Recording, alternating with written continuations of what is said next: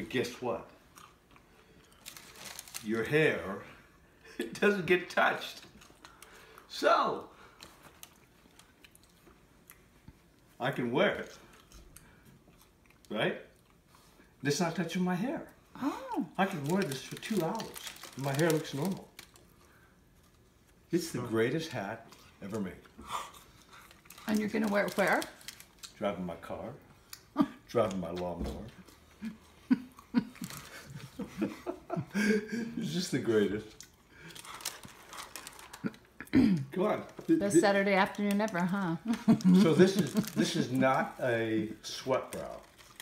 This is designed like like it's a one size fits all sort of a deal mm-hmm. with this. It's brilliant. Do you like it?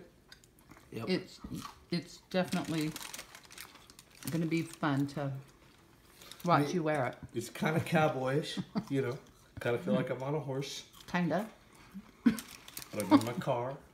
or I'm on my lawnmower. Two of my they're, they're my two new horses.